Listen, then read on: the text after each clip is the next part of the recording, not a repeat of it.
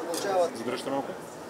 ултралайт картата, че на тази карта може да се зареди преди качване. Или 30 плюс, или 60 плюс.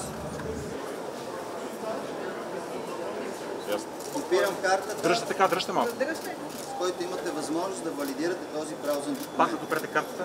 Виждате, вратата не се отвори. Отново Дръжте сега.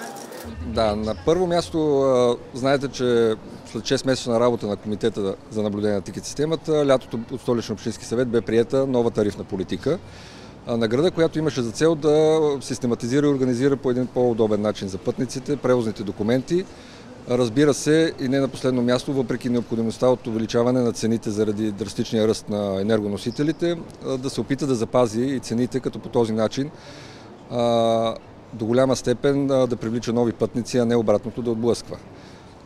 Макар и с риск за финансовата система, мисля, че постигнахме това. На следващо място, вече от два месеца, част от превозните документи вече се радват на успешна продажба в системата на Центъра за градска мобилност за продажба на превозни документи. Това са майката, картата за родители до 2 години, картите младежка и ученическа, които са също така годишни на стоеност от 200 лева.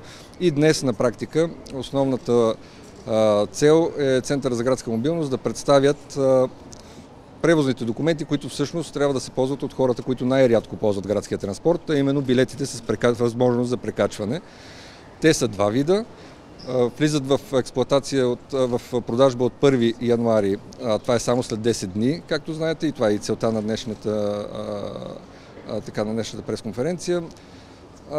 Първия вид, това е всъщност билета 30+, който всъщност за 1,60 на базата на сегашния билет му се предоставя допълнителна нова възможност за същата цена в рамките на първите 30 минути да можете да се прекачвате неограничено в транспортните средства на градския транспорт. А след това да довършите своето пътуване, неограничено отново във времето, до края на съответния маршрут, в който се намирате. Втория билет е 60+, аналогично на първият. В рамките на един час може да използвате транспорта на града и да се прекачвате във всички транспортни средства. Метро, трамвай, тролей, автобус.